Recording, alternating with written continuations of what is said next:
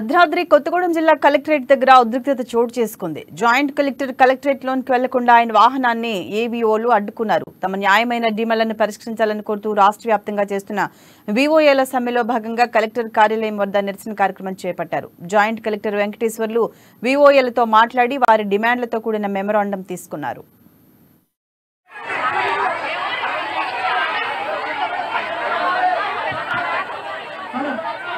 జేసీ గారిని మనం చేయడం జరిగింది.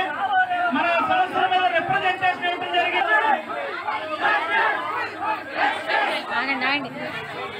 ఒత్తిడిని భరించలేక ప్రభుత్వం నుంచి పరిష్కారం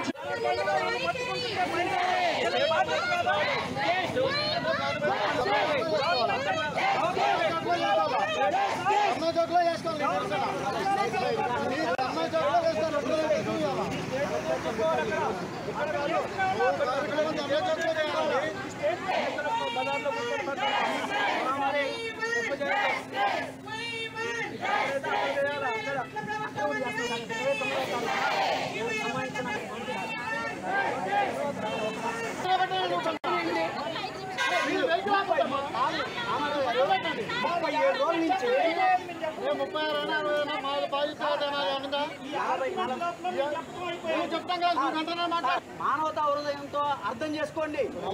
చేయండి. నా సమస్య కూడా వినండి.